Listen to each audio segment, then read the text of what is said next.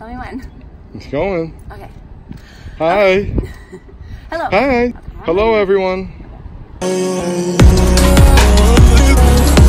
Hello everyone. Today I'm going to be taking you to the gym with me. We're going to do four major exercises that I do every time I go to do a leg day. Uh, Let's go. Lead the way there, sunshine. work those hips. So these are hip thrusts. I love these. I've replaced my every leg day squat with a hip thrust because I feel like it targets my glutes a lot more. I will start off by saying that I'm not an expert in any way. I watch lots of YouTube videos. I'll link a couple in my description. But this one, uh, I still have a lot of work to do because as you can see, I'm not going as far down as I'd like to.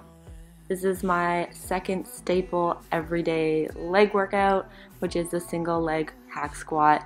And I really focus on my heel here. As you can see, my toes kind of lift up as I push my body up.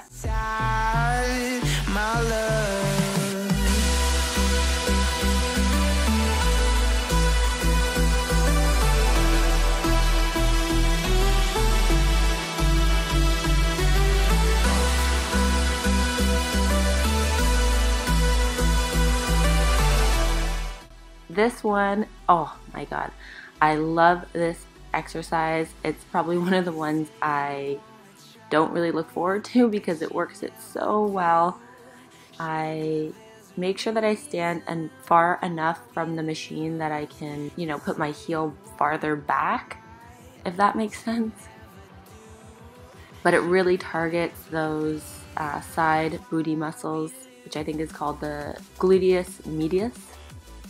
And of course, the hip abductor is amazing. I like the range of motion you get when you sit a little bit farther up and you hold onto it. Filming yourself during this exercise is actually really beneficial. Tristan has given me a couple pointers even from this video and it's nice to see where I need to work on.